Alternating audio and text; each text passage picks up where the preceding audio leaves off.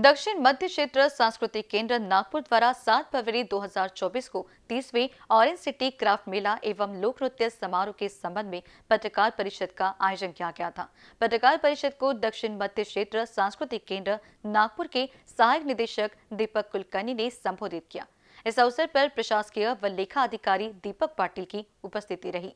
दक्षिण मध्य क्षेत्र सांस्कृतिक केंद्र नागपुर। संस्कृति मंत्रालय भारत सरकार द्वारा प्रतिवर्ष आयोजित होने वाले राष्ट्रीय स्तर के ऑरेंज सिटी क्राफ्ट मेला एवं लोक नृत्य समारोह का आयोजन इस वर्ष 9 फरवरी से 18 फरवरी 2024 के दरमियान किया जा रहा है। संपूर्ण भारत वर्ष में प्रसिद्ध इस मेले में देश के विभिन्न राज्यों के लोग एवं आदिवासी नृत्यों की प्रस्तुति, हस्तशिल्प एवं स्वादिष्ट व्यंजनों की प्रदर्शनी तथा बिक्री होती है।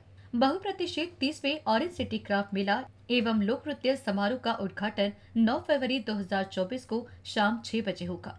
उद्घाटन समारोह के लिए नागपुर के विभागीय आयुक्त विजय लक्ष्मी पित्री, जिलाधिकारी डॉक्टर विपिन इटनकर एवं पुलिस आयुक्त डॉक्टर रविन्द्र कुमार सिंगल को आमंत्रित किया गया है।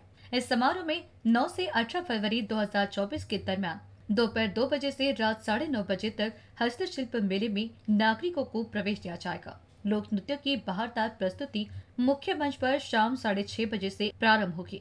हस्तशिल्प मेले में लगभग 150 हस्तशिल्पकार सहभागी होंगे तथा 200 से अधिक लोग एवं आदिवासी कलाकार शिरकत करेंगे। ऑरेंज सिटी क्राफ्ट मेला में क्राफ्ट स्टॉल के साथ साथ भारत वर्ष के विभिन्न राज्यों से पारंपरिक भारतीय व्यंजनों के स्टॉल भी विशेष आकर्षण का केंद्र रहेंगे।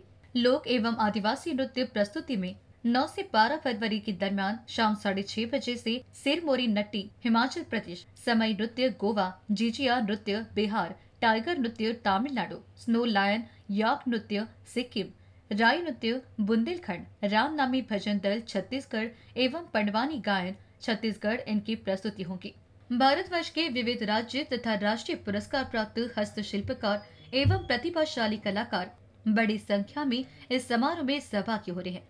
इसमें terracotta Khurja pottery, furniture, carpet, handloom jewellery, paper mache, dry flower, metal craft, glass craft, Punjabi जूती, phulkari, Chanderi sari, Paithani sari, Banarasi sari, zari work, mat weaving, wooden craft, bell metal, jute craft, khadi, Kalamkari printing, leather puppet, palm leaf painting Tanchoi sari इत्यादि शिल्पकार सम्मिलित होंगे। उनके द्वारा निर्मित हस्तशिल्प वस्तुएँ प्रदर्शनी तथा बिक्री हेतु उपलब्ध रहेगी। ऑरेंज सिटी क्राफ्ट मेला में क्राफ्ट स्टॉल के साथ साथ भारत वर्ष के विभिन्न राज्यों से पारंपरिक भारतीय व्यंजनों के स्टॉल भी विशेष आकर्षण का केंद्र रहेंगे। इसमें पारंपरिक राजस्थानी व्यंजन, पंजाबी व्यंजन, चाट, पानीपुरी, कुल्फी, दक्षिण भारतीय व्यंजन, हैदराबादी नॉनवेज कलकत्ता काठी रोल महाराष्ट्रियन व्यंजनों के साथ विदर्भ का स्वाद भी उपलब्ध रहेगा। मेरे की पार्किंग की सशुल्क सुविधा देश पांडे सभागृह एवं आमतान निवास में की गई है।